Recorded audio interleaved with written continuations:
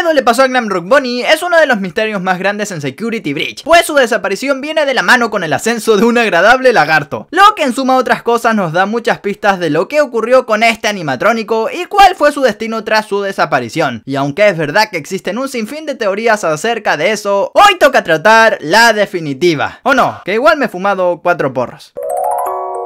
Las apariciones de Glamrock Bunny son bastantes en todo el juego, pues a pesar de no salir presencialmente en la partida, es posible escuchar muchas referencias al conejo y cómo al inicio formaba parte del elenco principal del Mega Pizzaplex. Oh, casi se me va el aire, papá.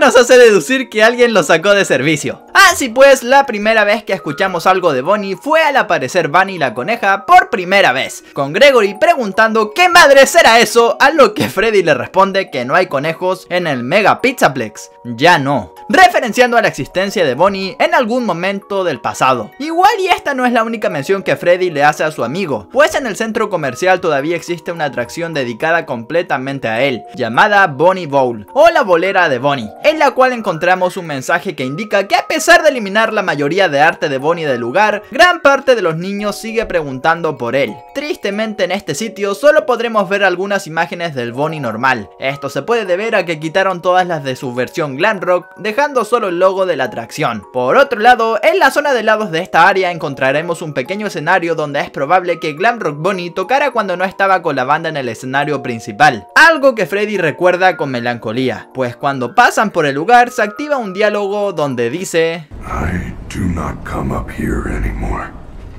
I miss him revelando que Freddy, quien sabemos estima a sus compañeros animatrónicos, tenía una relación muy fuerte con Bonnie hasta que un día desapareció. Otro mensaje importante que referencia al conejo menciona que está fuera de servicio, convirtiendo a Monty en el nuevo bajista, por lo que Parts and Service hizo los ajustes necesarios en él, añadiendo que creen que puede ser más popular que Bonnie, lo que indica que su desaparición benefició a Monty, además de confirmar que este nunca fue pensado para ser parte de la banda principal, pues para tocar el bajo necesita de unas garras especiales. Pero el mensaje más revelador para algunos es el que vincula la última vez donde se vio a Bonnie con el lugar donde vive Monty, pues este mensaje dice que a las 12.24 am se le ve salir de su habitación verde, confirmando que la habitación de Monty antes le pertenecía a Bonnie, siendo su último registro a las 4.12 am, cuando entraba al Monty Golf. Pero las cosas no se quedan solo en eso, pues sigue habiendo algunos indicios de Bonnie en el lugar, ya que al bajar en donde está el mensaje encontraremos una pierna muy parecida a la de su modelo, que peculiarmente tiene restos de pintura azul, muy parecidos a la pintura del conejo.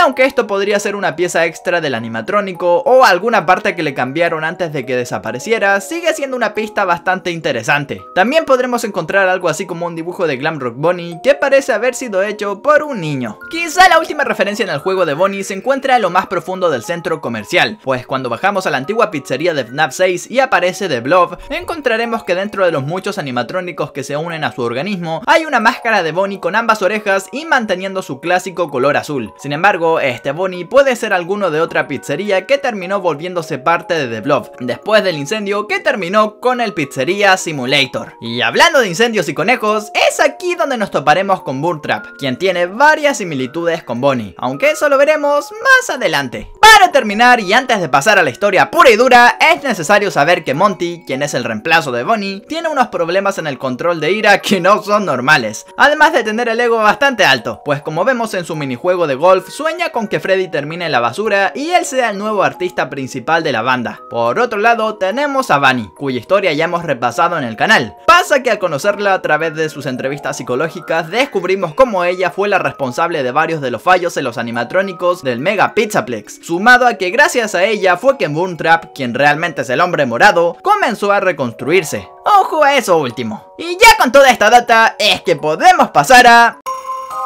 Cuando el Mega Pizzaplex comenzó a ser construido, el concepto de tener una banda glam rock definió la arquitectura y el estilo del lugar, por lo que también se decidió que los nuevos animatrónicos del sitio tendrían ese mismo estilo. Y aunque el saber si Foxy formaba parte de este conjunto en un principio es otra historia, 50.000 likes para la historia de Glam Rock Foxy, sabemos que Bonnie era uno de los principales, quien seguía manteniendo su posición de bajista, pues como antes vimos, no cualquier animatrónico puede tocar ese instrumento. Así fue como se inauguró el lugar con Bonnie siendo parte de la banda y teniendo su propio cuarto en el Rockstar Row, que por alguna razón era verde. O quizá lo pintaron. La inauguración del centro comercial fue todo un éxito, aunque algunos todavía recordaban los terribles acontecimientos que habían pasado en las pizzerías y cómo muchos de estos estaban relacionados a conejos, pero Fazbear se limitaba a decir que eran mentiras infundadas por un desarrollador de juego...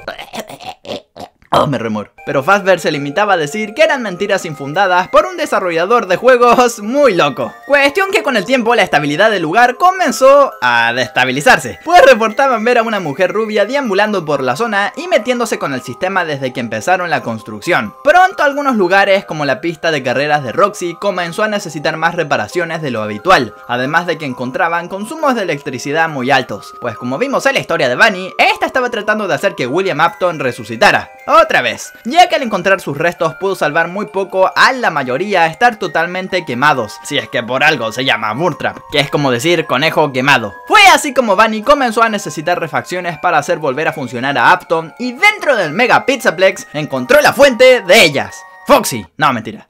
Glamrock Bunny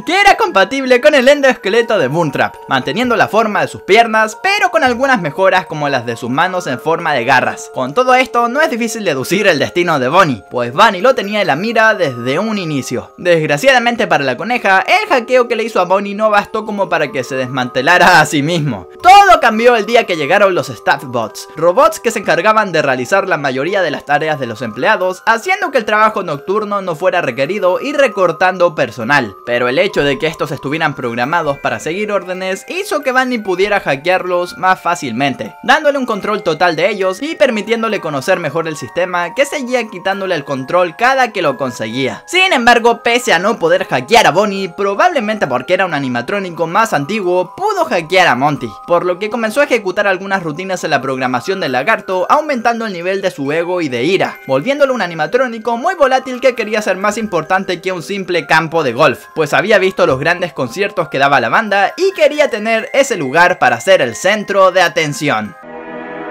Fue así que Bunny solo se preocupó por alterar el comportamiento de Bonnie en las noches, para que terminara llegando al Monty Gator Golf, siendo así como se obtuvo el último registro del conejo. Aún con eso, lo más sorprendente fue lo que pasó luego, pues aunque la ambición de Monty estaba al máximo, no hacían más que mirar a Bonnie, quedándose ambos parados uno frente al otro sin hacer nada, siendo entonces que Bunny descubrió que el núcleo de programación de los animatrónicos les impedía hacerse daño pues son muy caros, y era algo en lo que Fazbear Entertainment había pensado. Al final, la coneja optó por usar simplemente el poder de los Statbots, activándolos para que desarmaran a Bonnie, ocurriéndole el mismo destino que a Freddy el final malo después de enfrentarla. Todo esto mientras Monty lo veía sin poder moverse, rompiendo por completo sus circuitos y enfureciéndolo tanto que comenzó a golpear y destruir a los Statbots, aunque estos ya habían acabado su trabajo dejando únicamente un pie del endoesqueleto de Bonnie, el cual tomó y llevó a un viejo cuarto al que solía ir y donde había una mesa de reparación, pues pensó que solo tendría que conseguir las piezas otra vez, aunque no tardó en olvidar esa idea cuando las cosas cambiaron para él al recibir actualizaciones de sus partes y subir al escenario que tanto anhelaba, volviéndose un éxito instantáneo y pasando a formar parte de la banda glam rock de un día para otro. Fue cuando Monty se vio al espejo que lo recordó todo, pues encontró que partes de las mejoras que le habían hecho venían con piezas de Bonnie, lo que le hacía recordar cuando lo desamblaron frente a él, por lo que salió de su habitación y se llevó a un par de Stabbots a un cuarto lejos de todos para vengarse de ellos, haciéndoles vivir el mismo dolor que Bonnie sufrió durante sus últimos momentos de vida. Este rencor hizo que Monty comenzara a despreciar a Freddy, pues se jactaba de ser el mejor amigo de Bonnie, pero no hizo nada para ayudarlo, pensando que hubiera sido mejor que Losito, hubiera sido desechado y él tuviera el rol de cantante de la banda. Pronto la culpa de Monty por la ida de Bonnie fue tan alta que cada que regresaba a su cuarto se enfurecía, rompiendo todo el lugar y cada que un Stabbot entraba a arreglar el cuarto, era destruido por Monty por el miedo de ser la siguiente víctima. Por otro lado, las piezas de Bonnie pasaron a ser repuestos para Boomtrap, el cual se iba reconstruyendo de a poco y ya se podía ver un endoesqueleto bien formadito. Además, con la ayuda del remanente de chicos que comenzó a secuestrar Bunny, las partes orgánicas de Boomtrap como la piel y las venas comenzaron a recrearse por todo este nuevo modelo, y las que no usaron las echaron en The Blob, quien tornó todos estos cuerpos en uno solo. Y pues esta sería la historia de Glamrock Bunny. Si el video les gustó, no olviden dejar alto like. Si llegamos a los 50.000, se viene la historia de Foxy en Security Bridge. Sin más que decir y esperando que les haya encantado,